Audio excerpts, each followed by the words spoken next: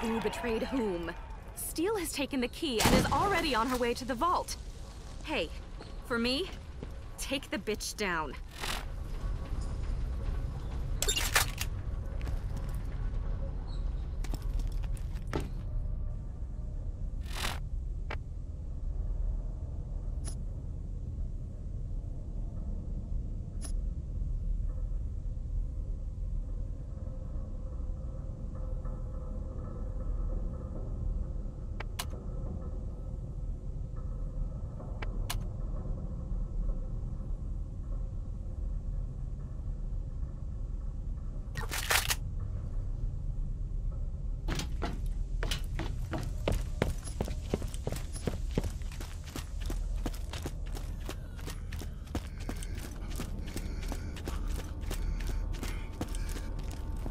Whoa!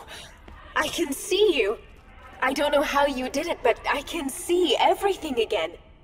You've surprised me this time.